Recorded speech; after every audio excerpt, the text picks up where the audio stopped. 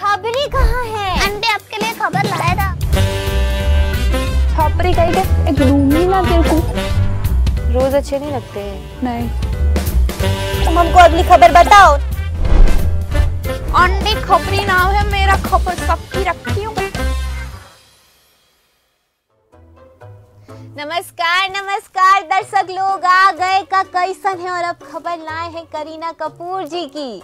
अब करीना कपूर और बीरे दी बैडिंग नहीं थी फ़िल्म। वो बीरे दी बैडिंग में जिसके साथ रिया जी के साथ, वो की फ़िल्म की थी ना वैसे फिर से हाथ मिला ली है रिया जी के साथ और फिर से फ़िल्म करने वाली है। तो बताते हैं डिटेल में सारा, चलिए खबर में। करीना कपूर का कहना है कि रिया कपूर की अगली फ़िल्म तीन फीमेल लीड के बावजूद वीरे दी वेडिंग के अपोजिट होगी।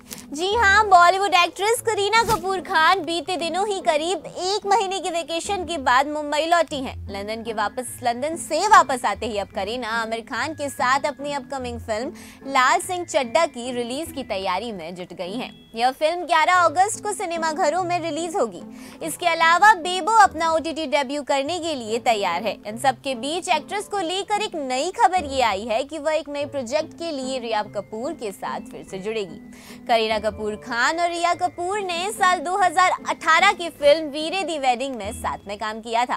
फ़िल्म में जहाँ करीना के साथ सोनम कपूर, स्वरा भास्कर और शिखा तलसानिया भी नज़र आई थी, वहीं रिया ने इस फ़िल्म को प्रोड्यूस किया था।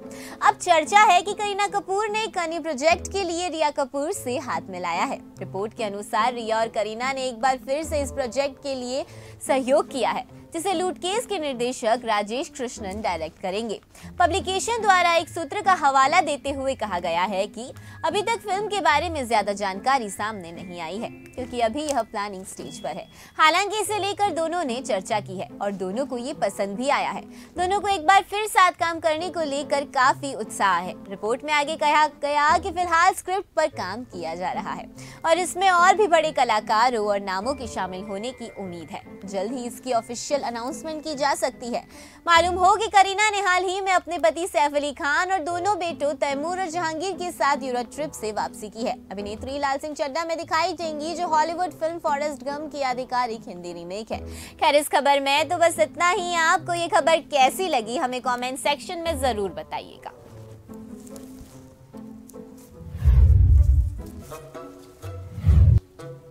हमको तो बीरे दी बैटिंग भी पसंद आई थी, अब फिर से ऐसे फ़िल्म आएगी तो हम तो ज़रूर से देखेंगे। अब फ़िलहाल तो वेट करते हैं कि क्या आगे खबर आती है और जाते हैं, लेकर आते हैं कछु खबर मिलती है तो आपके लिए फ़िलहाल जाते हैं, अगली खबर लेकर आते हैं। तो कहीं जाइएगा, नहीं बने रहिएगा आंटी के साथ। जयराम जी की दर्शकों।